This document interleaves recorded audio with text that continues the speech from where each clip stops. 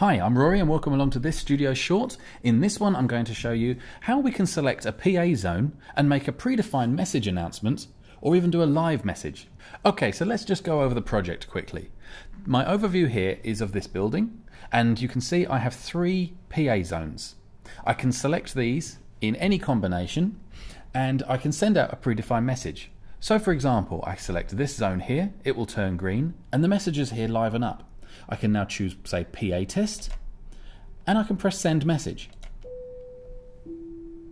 This is a PA functionality test. Now that message has been sent out to that PA zone. Perfect. Now, if I wanted to change the language of this, I have some options for other languages here. So I have French and Swedish. So I'll choose French and send it again. Ceci est un test de fonctionnalité du système de sonorisation. And then if I wanted to send it in Swedish, I simply press the Swedish flag and press send again.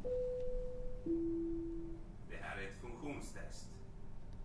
These predefined messages are really useful if you are looking to make sure that you always send out the same quality standard of message. However, sometimes there is a need for a custom message. Perhaps you have a situation where a message needs to be repeated at several times throughout the day but changes on a daily basis. So this is where we can use these message buttons here. I can select say message 1 and I can record my own message right now. Test message number 1. That's now saved as message number one. I can preview it on my local handset here. Test message number one. And when I'm ready, I can simply send it out to the PA zone. Test message number one. If I want to add another zone in, I can simply just choose another zone and then send it again. Test message number one. If I want the message to be repeated more than once, I can select times two. Test message number one. Test message number one.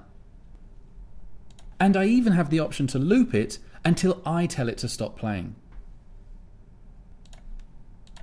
So as you can see, this is a really nice and easy way to control PA zones throughout the Commend equipment using Studio.